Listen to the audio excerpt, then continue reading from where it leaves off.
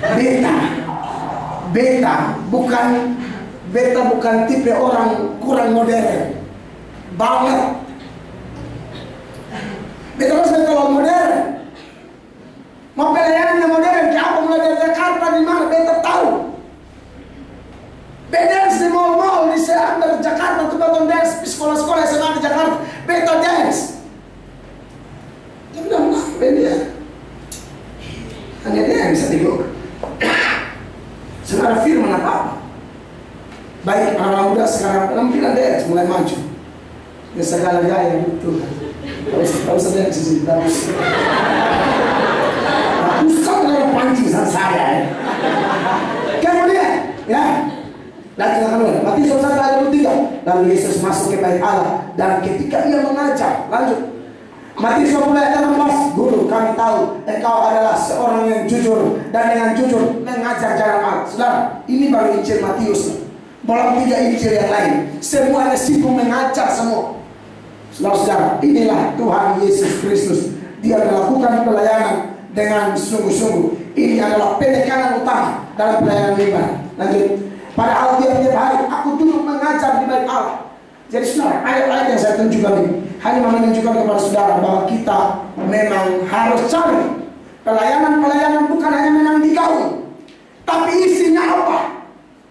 Makanya Yakobus bilang begini, ya, Hai saudara-saudara yang kukasih, ingatlah hal ini. Setiap orang hendaklah cepat untuk mendengar. Mendengar apa? Mendengar firman. Tapi bukan seadanya firmannya. Betul-betul pengajaran firman yang di dalamnya Anda dapatkan sesuatu. Saya tidak sedang mencela pendeta lain. Tapi saya sering motivasi teman-teman STH. Ayo belajar kawan. Sekarang orang Kupang terlalu pintar. Dong kritik. Kalau foto khotbah bodoh-bodoh. Saya lucu. Tetapi kalau khotbah mayoritas hanya ketawa-ketawa. Saya juga tidak setuju. Anda tahu kenapa saya bikin ketawa? Ini bukan teknik. Ini bakat saya. Betulnya sebakat ngelucunya sudah ada-ada belum? Serius, saya udah mencari tadi selucu dari lahir. Begini dia pelucu. Eh, selera yang luar. Kata yang gak mati semua. Beta yang bungsu. Dan mama sudah berharap dia ada perempuan. Entah lahir ke mana beta matono. Ini selucu kan? Dan posisi matono betul itu ada balik balik balik. Laki-laki lagi. Makanya tahu apa yang terjadi? Karena sekarang ada perempuan dari kecil dia perambu, dia masuk roll. Ini masih ada roll, mau ada boni, segala roll. Segala serius, kakak orang tahu. Eh, ini kandung gak sih? Kakak orang cuma kau tahu. Sampai orang paling beta Melinda.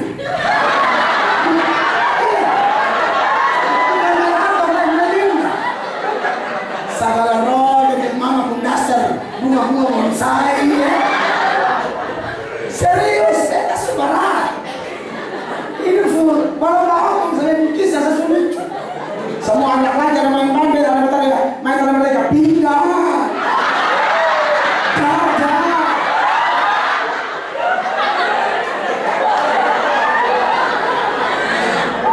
Eh, sama beta mau lucu, beta akan ukur sedemikian rupa sehingga lucu itu membuat anda tidak boring di ruang ibadah. Oke, okay?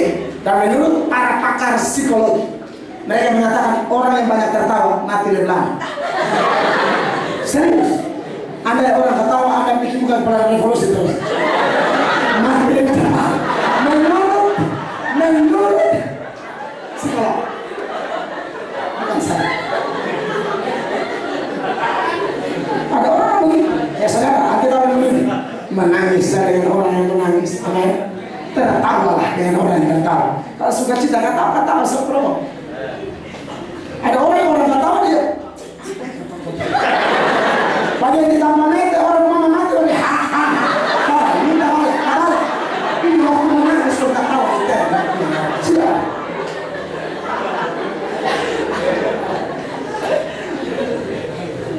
Saudara-saudara,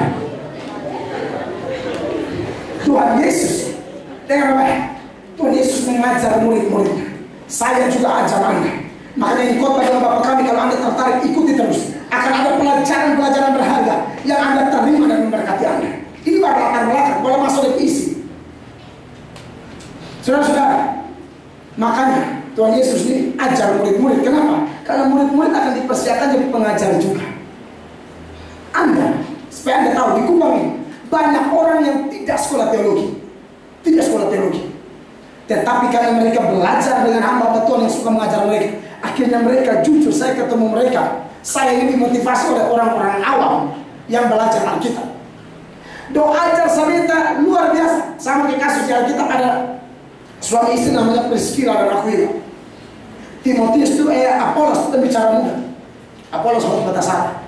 Alkitab yang kisah para rasul mereka dibawa ke rumah Priscilla Aquila. Priscilla Aquila menasehati Apolos Orang awam menasehati pengkhotbah muda berkualitas dan pengkhotbah muda itu dengar dan betul. Kenapa mereka bisa ajar? Tidak mungkin mereka ajar pengkhotbah top kalau mereka sendiri tidak paham. Amin. Makanya Anda akan berhadapan dengan penyesat-penyesat yang kadang-kadang mulai diadu argumen. Banyak majelis di itu pindah ke saksi Yehova. Karena ketemu saksi Yehova, saksi Yehova. Adu debat, majelis tidak sama saja. Hanya dari ikut sama saksi Yehova. Selesai. Makanya di itu suka bicara motivasi. Maka nanti tanggal berapa ya? Kita diminta seminar sehari di gereja Kema Injil. Kema Injil yang di Karamagong gereja biasa tanggal 5 nanti. Saudara ini membuktikan bahwa orang semua lagi harus pengajaran dan beta sedang belajar untuk itu. Lihat ini ayat mereka bertekun dalam pengajaran rasul-rasul. Kenapa rasul-rasul mengajar? Karena Yesus ajar dahulu. Untuk apa? Mereka dipersiapkan jadi pengajar. Jadi Anda, kalau dia nyari motor, paling harus catat, rekam, baik-baik, ajar. Tapi kalau bingung, SMS dia pamer. Kita dalam musim tertua, bagaimana ya? Selamat tertua kan mau.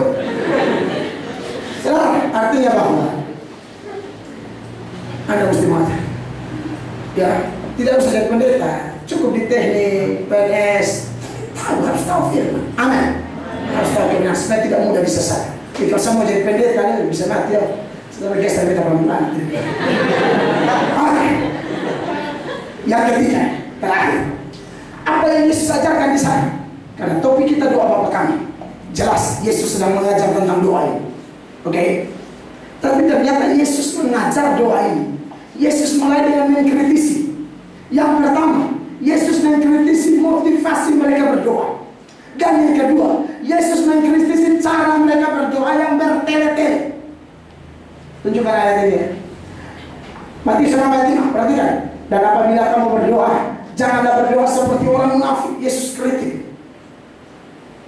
Mereka suka mengucapkan doanya yang berdiri dalam rumah-rumah ibadat dan pada tikungan-tikungan jalan raya supaya mereka melihat orang. Aku berkata kepadamu, sesungguhnya mereka sudah mendapat upahnya sampai di situ.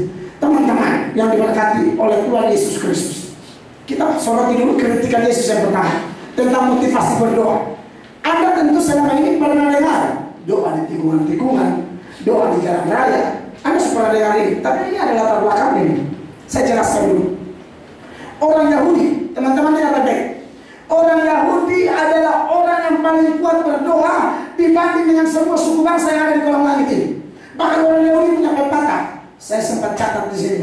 Orang Yahudi bilang begini, doa adalah besar, melebihi semua perbuatan baik. Bagi mereka, perbuatan baik terbesar adalah berdoa. Orang Yahudi itu punya jam-jam doa. Jam 9 pagi, jam 12 siang, jam 3 sore, dan mereka akan berdoa terus. Doa-doanya pun banyak. Ada namanya doa Shema, ada namanya doa 18 atau namanya Semoni Esre, ada juga namanya doa-doa tertulis. Itu ratusan doa. Doa masuk kota, doa keluar kota, doa lihat panci, doa lihat danau. Semua ada doa.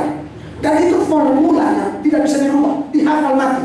Sama kayak orang nama Katolik, salam Maria penuh rahmat Tuhan setempul balik itu terus. Nah saudara-saudara, ternyata doa orang Yahudi begitu banyak saudara-saudara. Dan akibatnya mereka ini kemudian salah gunakan doa-doa ini dengan motivasi yang keliru. Saya contohkan dulu doa yang namanya doa Shema. Doa Shema ini mereka ambil dari ulangan 6 ayat 4 sampai 9. Selain ini ayatnya. Ini asalnya doa Shema. Ini doa yang dihafal harus setiap hari dua kali. Tidak boleh jam 9 pagi dan tidak boleh lewat dari jam 9 malam. Ini mereka taat matiku untuk doa Shema. Dan doa Shema ini ikuti dari ayat ini. Dengarlah hai orang Israel, Tuhan itu Allah kita, Tuhan itu Esa.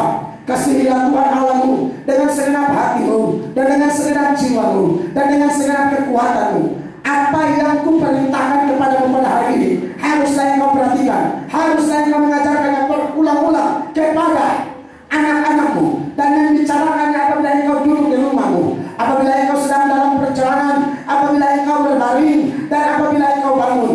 Haruslah juga engkau mengikatkannya sebagai tanda pada tanganmu dan haruslah itu menjadi lambang di dahimu dan haruslah engkau menuliskannya pada tiang pintu rumahmu dan pada pintu gerbang. Ini ulangan 6 ayat 4 sampai 9. Dari dasar ayat ini sehingga muncul doa Shema yang berbunyi-bunyi. Lagi, ini doa Shema. Doa Shema orang Israel. Ini doa yang paling wajib satu hari dua kali. Tidak boleh lewat jam 9 pagi dan tidak boleh lewat jam 9 malam. Mereka berdoa berbunyi, Tuhan, Engkaulah Allah kami. Tuhan Engkau Esa. Kami mengasihi Engkau dengan segenap hati kami dan dengan segenap jiwa kami dan dengan segenap kekuatan kami. Kami akan memperhatikan apa yang Engkau perintahkan. Kami akan mengajarkan dan berulang-ulang kepada anak-anak kami. Kami akan membicarakan apabila kami duduk di rumah, apabila kami sedang dalam perjalanan, apabila kami berbaring, dan apabila kami bangun. Kami akan mengikatkannya sebagai tanda pada tangan kami dan menjadi lambang di dahi kami dan kami akan menuliskannya pada tiang pintu rumah kami dan pada pintu gerbang kami. Amin. Ini tiap hari harus dua kali. Doa begitu banyak, doa hafal di luar tempat. Tidak boleh meleset kata-kata. Itu dengan doa syirik. Ada doa lain lagi saudara-saudara yang tadi saya bilang doa 18 yang namanya doa Shemone Esre. Saya tunjukkan salah satunya saja. Doa nomor 5. Sampai hari masih dipakai di bait Allah. Eh di sinagog. Ini doa Shemone Esre. Ini yang nomor 5 saja. Ada banyak. Ada doa 18. Ini yang nomor 5 yang biasa doa. Doa format. Ya Bapa kami, kembalikanlah kami pada hukummu. Oh Sang Raja, kembalikanlah kami ke dalam pelayanan bagimu. Bawalah kami kembali padamu melalui pertobatan yang sejati. Terpujilah Engkau ya Tuhan yang sungguh-sungguh mau menerima pertobatan kami. Kalau yang ini tiga kali sekali. Kalau yang tadi yang panjang doa saya itu dua kali. Ini tiga kali. Nah saudara kalau sejam doa orang Yahudi mau di mana sah? mau di danau, mau di pasar, mau di tikungan, mau di mana, satu akan doa. Di sini letak masalah. Sebenarnya baik, tapi seiring berjalannya waktu, ada orang-orang yang mulai motivasinya bengkok. Pentasar semua jam sembilan, udah sengaja di pasar. Ini, ini. Taksir semua jam sembilan, semua jam-jam doa. Kan di mana semua berdoa, mesti berhenti. Orang Yahudi berdoa ini menyolok sekali. Kenapa? Angkat tangan untuk ucap Tuhan. Yahudi berdoa. Akhirnya ada orang yang Tuhan Yesus pantau. Wah ini semua munafik ini mah. Begitu. Semua dari jam 9 sama ini. Ini jam 9. Maka angkat tangan dari pasar. Itu makanya sudah berdoa di tikungan-tikungan. Berdoa di pasar-pasar dan lain sebagainya. Nanti kalau anda lihat ini sudah harusnya sejam doa itu masuk kamar, bukan sengaja di pasar. Itu. Jangan kita susah kita dari muter. Apa? Mari itu. Itu. Itu saya kaget sendiri.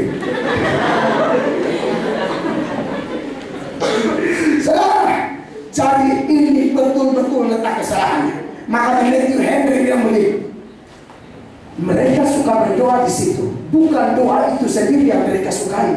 Melainkan kesempatan untuk diperhentikan orang yang ditimbulkan oleh doa itu. Nah ini kan ramai di pasar, di tikungan, di dekat Allah orang makan rumah belum mulai foya di sini. Nah ini dia masalahnya. Yang terjadi kritisi. Ya, makanya saudara-saudara, Tuhan Yesus bilang begini, kalau mau doa itu begini sebenarnya. Lanjut. Tetapi jika engkau berdoa, masuklah ke dalam kamarmu. Tadi ayat 5 waktu kritis yang tikungan-tikungan, toh dengan latar belakang sudah saya jelaskan itu. Di ayat yang Tuhan Yesus bilang, masuklah ke dalam kamarmu dan tutuplah pintu. Nah, dari sini ada persoalan lagi saudara-saudara. Persoalannya apa? Kalau begini, potong doa di KKR, salah tuh saudara. Ternyata sorotan dari Yesus di sini bukan masalah kamar, masalah motivasi. Oke, jadi doa KKR boleh, khotbah itu wabit antar orang di KKR boleh, asal dari motivasi bukan cari pujian orang. Itu persoalan. Ingat, orang Yahudi ini dikritisi oleh Yesus kenapa? Doa ini kan sebenarnya sesuatu yang sifatnya vertikal. Angkat ya? Hubungan dengan Tuhan Allah, maka ternyata ini orang menghantam horizontal. Doa ini bangun dengan Tuhan Allah, bukan pamer di orang. Sama kayak beta terlambat. Behor baca kok setelah beberapa kali, beta pilih ini di saat satu tempat ibadah. Dan tuh begitu selama. Makanya doa dengan begini. Lihat begini dari motor datang. Bapak di sana pendeta sekarang kurang beres Tuhan. Lu di sana sampai tanya Pas dia sampai sama kita anak kecil. Besok cerita saudara, dia punya jadi sepeda. Eh, Yusuf, isi sekarang banyak. Yusuf, lu kalau masuk sepuluh besar Yusuf, nenek dia kasih sepeda. Ke mana? Yusuf siap belajar. Yusuf apa yang kita tuju? Masa sepuluh besar dong tunggu tunggu tunggu sampai dah nggak nongol nongol sampai tiga bulan lagi bisa lu ini bilang sepuluh besar habis pas ada ranking tuh jadi ranking ke setahun makan doa malam mau makan makan malam maksudnya Yusuf bapak Yusuf mama nenek. Nenek ini tuli dia barang. Nenek ini tuli ada barang. Maka Yusuf bapak begini Yusuf waktu mau makan malam Yusuf bisa doa? Bisa bang nenek ada. Bisa berdoa Bapa di surga Terima kasih buat makan minum yang tersedia Kuduskan, sucikan hamba betul Orang susah membutuhkan. Tuhan memberi Pas mau dek doa makanan so habis Bisa masih ada satu pokok doa lagi ya Bapak Bisa suara tinggi Tolong ingatkan nenek Bapak Nenek jadi sepeda Sudah tiga bulan Saya bisa patah Ya bisa bisa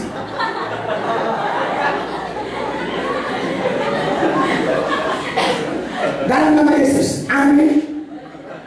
Waktu dia amin, semua pemata malota saya hanya nenek saya. Semua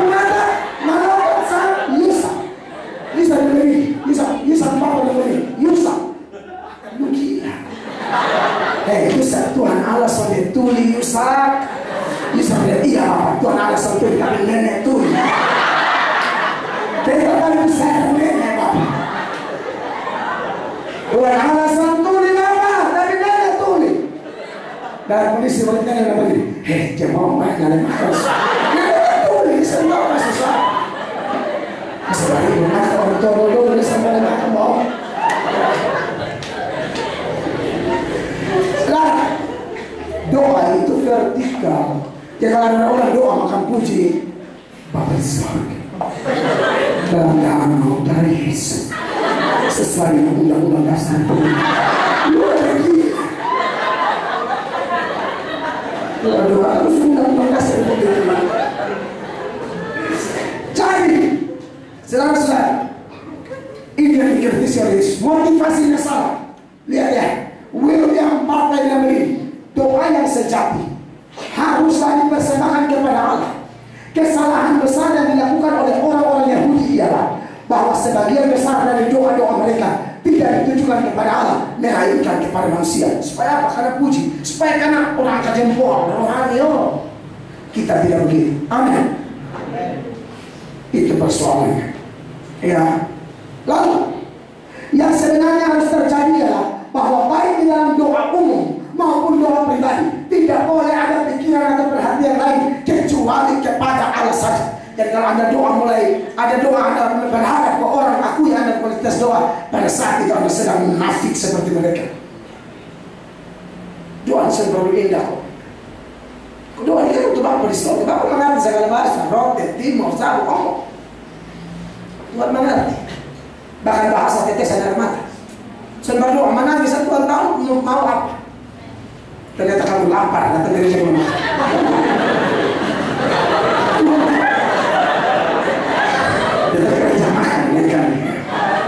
lagi semua pikiran angan-angan keinginan yang menjurus kepada diri sendiri harusnya diganti dengan pikiran, angan-angan dan keinginan yang hanya menjurus kepada Allah saja. Itu doa. Doa itu vertikal. Jangan ada angan-angan makan puji.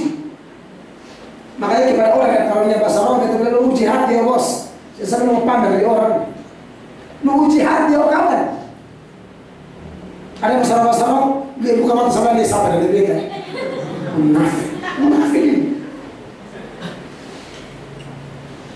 Yang kedua, ayat tujuh semua habis, sudah muka meleleh. Lagi pula, ini yang dikritisi dua, doa yang bertele-tele. Lagi pula dalam doa itu janganlah kamu bertele-tele seperti kebiasaan orang yang tidak mengenal Allah. Bertele-tele ini bahasa Yunani agak sulit sehingga terjemahannya pun beda-beda dari versi-versi Alkitab bahasa Inggris. Misalnya, ya dari New American Standard Bible langsung bahasa Indonesia. Janganlah menggunakan pengulangan yang tidak mempunyai arti dari New International Version. Janganlah terus menerus mengoceh ya dari Revised Version. Ya, janganlah menumpuk ungkapan-ungkapan yang kosong dari King James Version. Janganlah menggunakan pengulangan yang sia-sia. Jadi kalau dari kata Yunani yang ini terlalu unik, bahkan para teolog pun susah menjelaskannya.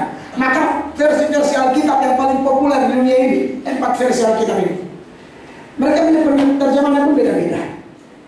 Nah, saudara, tetapi yang menarik ialah Tuhan Yesus sedang menyinggung bahwa orang-orang ini itu sama kayak doa orang tidak mengenal Allah. Kata tidak mengenal Allah itu sama dengan kafir. Saya tidak mengatakan bahwa Anda tidak boleh doa ulang-ulang. Kalau memang karena dorongan hati yang kuat dengan baik-baiknya. Dorongan hati yang kuat, dorongan iman lalu ada ulang kembali, tidak apa-apa. Karena Yesus pernah doa ulang-ulang. Mana ayatnya? Ini Yesus doa ulang. Sudah berada kayak apa Ia membiarkan mereka di situ, lalu pergi dan berdoa untuk ketiga kalinya dan mengucapkan doa yang itu juga. Doa pertama karena itu doa kedua doa begitu. Kenapa? Ada dorongan hati. Ini pergumulan berat, bukan mau pamer, bukan menghinggapi orang. Ini sedang mau menampung dosa seisi dunia. Lalu karena dorongan hati dia doa ulang Tuhan, eh Tuhan, misalnya begitu ya. Sedang doa sedang pergumulan Tuhan tolong beri masalah ekonomi Tuhan, Tuhan tolong beri suami, Tuhan tolong beri anak. Bukan mau pamer pamer apa? Kau ini anak yang menderita ini tidak ada unsur pamer di sini. Yang ada ialah dorongan hati yang kuat karena masalahnya. Ini tidak apa-apa. Yang dilakukan Yahudi bertele-tele dan sebenarnya ini adalah gaya orang kafir. Contoh ya, doa orang kafir ya. Kisah 19 ayat 34. Ini dong uh, memuji Dewi Artemis. Tetapi ketika mereka tahu bahwa ia adalah orang Yahudi, berteriaklah mereka bersama-sama kira-kira dua jam lamanya. Teriaknya apa? Besarlah Artemis Dewi orang Efesus dua jam. Besarlah Artemis Dewi orang Efesus jam dan sekarang. Hanya itu saja. Sudah ini ternyata gaya orang kafir. Contoh lain lagi ya. Satu raja-raja. Ini ketika Elia dengan Nabi-Nabi Baal. Kemudian Elia berkata kepada Nabi-Nabi Baal itu. Satu raja-raja 18 ayat 25 sampai 29. Pilihlah seekor lembu dan olahlah itu dahulu. Karena kamu hari ini banyak. Sesudah itu panggilan nama Allah. Tetapi kamu tidak boleh menaruh api. Mereka mengambil lembu yang diberikan kepada mereka. Mengolahnya dan memanggil nama Baal. Dari pagi sampai tengah hari katanya ya Baal jawablah kami dari pagi sampai tengah hari ya Baal jawablah kami ya Baal jawablah kami ya Baal jawablah kami ini ternyata orang kafir baik ya tetapi tidak ada suara tidak ada yang menjawab. Sementara itu mereka berjikrat jikat di sekeliling mesbah yang dibuat mereka itu. Pada waktu tengah hari ia mulai mengejek mereka katanya panggil lebih keras bukan lagi Allah mungkin ia merenung mungkin ada urusannya, mungkin dia berpergian, barangkali dia tidur dan belum terjaga. Maka mereka memanggil lebih keras serta menoreh-noreh dirinya dengan pedang dan tombak seperti kebiasaan mereka sehingga darah bercucuran dari tubuh mereka. Ya, sesudah lewat tengah hari mereka kerasukan sampai waktu yang sampai ada kerasukan sampai tetapi tidak ada suara, tidak ada yang menjawab, tidak ada tanda perhatian. Ini kayak kafir, mata reap sampai hari, ulang-ulang itu juga. Makanya dulu, ya, saya mantan Katolik. Dan kalau kita doa, orang-orang Katolik ya, Aceh Katolik. Salam Maria penurangan Tuhan sertamu dan seterusnya. Ini beta, hati-hati. Itu tidak ada unsur pengulangan-pengulangan yang agak bernada seperti ini saya lihat. Pikir yang diulang-ulang itu lebih besar dari kuasa salah. Tidak ada dorongan hati itu seperti diwajibkan. Salah. Nah ini yang dimaksud dengan bertele-tele, terlalu mengoceh, terus-terus ulang-ulang itu saja. Kamu pikir yang banyak yang kamu putar-putar itu nanti ada kuasa. Tidak. Jadi saudara-saudara yang diberkati oleh Tuhan Yesus Kristus. Orang Yahudi terjebak dengan doa ini. Makanya dikatakan celakalah kamu hai hai Torah dan orang-orang Farisi. Hai kamu orang-orang munafik. Sebab kamu menelan rumah janda-janda sedang kamu mengelabui mata orang dengan doa yang panjang-panjang. Ulang eok, ulang eok, ulang eok. Dia pikir dengan ulang eok begitu tambah jawab sebenarnya. Tuhan Yesus berdoa melalui bertele-tele dan salah di hadapan Tuhan. Nanti baru masuk doa Bapak kamu. Jadi saudara-saudara, ingat, sebenarnya tak usah panjang-panjang. Tuhan sudah tahu apa kebutuhan Anda. Makanya di ayat 8, dari aku sudah begini. Jadi janganlah kamu seperti mereka. Karena Bapamu mengetahui apa yang kamu perlukan sebelum kamu minta kepadanya. Jadi, dari ayat ini kita tahu Yesus sedang mengajarkan doa itu bukan tindakan melapor. Doa itu komunikasi. Doa itu tindakan yang mempererat dirimu dengan Allah. Sebab sebenarnya yang lapor Tuhan sudah tahu masalah. Tapi kenapa kita berdoa? Kita berdoa itu membangun keintiman. Makanya ada persekutuan doa. Ingat ya, doa ini bukan sekedar melapor, boleh. Tapi jangan terus-terus datang di depan bapak, ya, sakit bapak, ya, doa kuliah bapak, nyong minta putus bapak. Bukan kayak itu. Nyong minta putus baru rasa bapak ada. Sebenarnya kau sedang di motor Tuhan, aku mengasihimu Tuhan. Tuhan engkau ajaib, beri kekuatan Tuhan. Supaya ketika nyong pegang hamba tempel.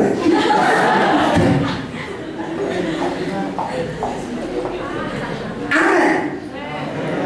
Hmm. Jadi saudara-saudara, sebagai penutup, saya beri komentar John Calvin, betul-betul tutup. Saudara, tapi lihat salah itu. Eh? John Calvin, seorang teolog ternama, dia bilang begini.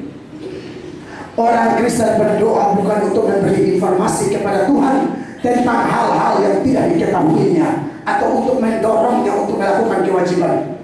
Tentu ini bukan untuk desak Tuhan. Tuhan yang sendiri, kalau dia jomblo, Tuhan yang tolong, bukan. Eh? Atau mendesak dia untuk melakukan sesuatu yang segera dilakukannya. Kemudian orang Kristen berdoa supaya mereka menggerakkan diri mereka sendiri untuk mencari dia. Mereka bisa mempraktekkan iman pada janji-janjinya. Mereka bisa menyenangkan kekhawatiran mereka dengan mencurahkannya kepada Tuhan. Mereka bisa menyatakan bahwa hanya dari dia saja mereka mengharapkan hal-hal yang baik, baik bagi diri mereka sendiri maupun bagi orang lain. Pernah anda berdoa berkata Tuhan Hamba terlampau percaya bagimu tidak ada yang mustahil. Tuhan hamba percaya firmanmu. Bahwa rancanganmu bukan rancangan kecelakaan Ini anda bukan melapor Tapi anda sedang bicara Dan mempercayai janji-janji. Jangan datang di waktu main lapor sah, lapor sah Soalnya salah sih. Tapi kalau kita terlaluan Anda bikin bapak tua sama ke apa ya? Radioisnya Ada berita kalau tolong. Bukan begitu. Amin. Jadi berdoa Tindakan dan gerakan dirimu untuk dekat kepada Allah. Minggu depan saya gali lebih dalam lagi mulai dari isi doa kamu. Maka kita sepakat untuk berkata, Beri tepuk tangan yang Mari kita